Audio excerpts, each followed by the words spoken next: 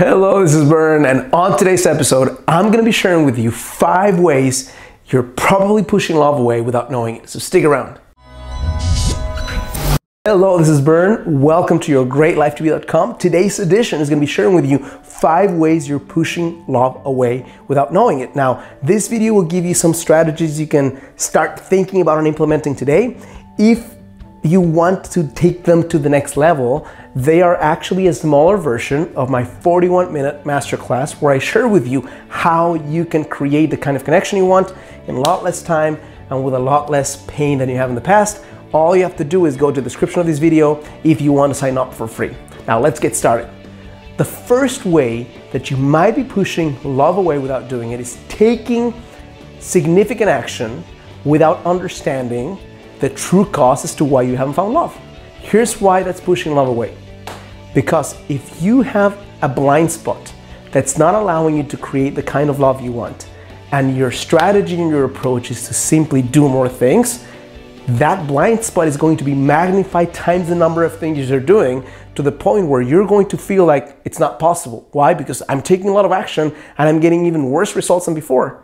So, the first step, if you want to stop pushing love away, is to understand the true core reason why you have not found the love that you want. Number two is holding on to false slash shitty beliefs and ideas that you start treating as universal laws. I connect with so many women who are going around with a set of beliefs that are complete bullshit in terms of why they can't find the love they want, but they start treating them as these are the the universal laws of the Messiah of some sort.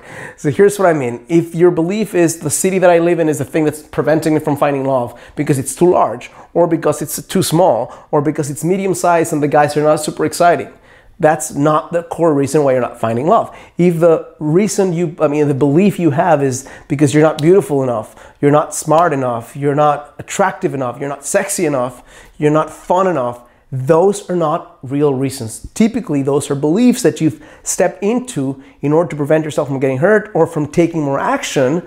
And if you treat them as reality, then they become reality for you.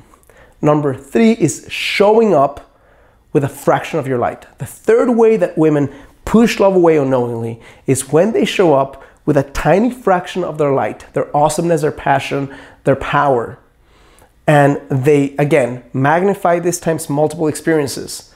The kind of resonance they create is not the one that's going to be optimal for more guys to say let me take this further. Let me connect with you more. Let me learn about you. Let me get uncomfortable and ask you on a date. Let me face rejection potentially but it's worth it because for this level of radiance i'll take the risk. If you show up consistently with a tiny fraction of your light tiny fraction of your radiance, then you don't generate enough intensity to get the kind of interest and the kind of attraction that you want. Now, am I saying that it cannot happen? No, I'm not saying that. I'm just saying it's going to take a lot longer usually than if you show up with your full light. Number four is second guessing yourself in order to be more likable or rejected less. So here's what I mean. A lot of women feel that who they really are is not it's weird or far out there or different. So if they were to show themselves that way, then nobody would like them. So they morph themselves into this vanilla ice cream that no one really wants, right?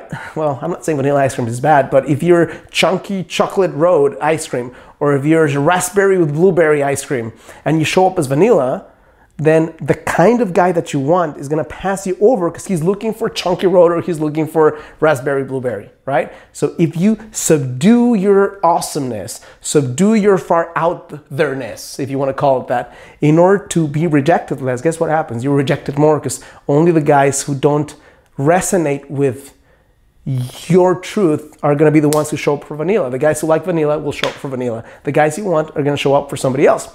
Number five is having the wrong idea as to what love and what love isn't.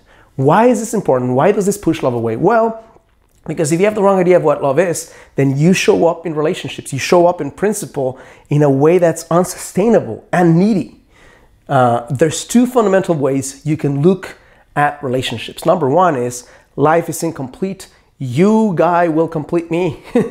and that's all there's to it. That's one way. Second way is my life is complete and awesome, and I want to help expand on the greatness with your presence. So one of them is you have what you need and you want to enhance it. The other one is you're lacking and you want to complete yourself.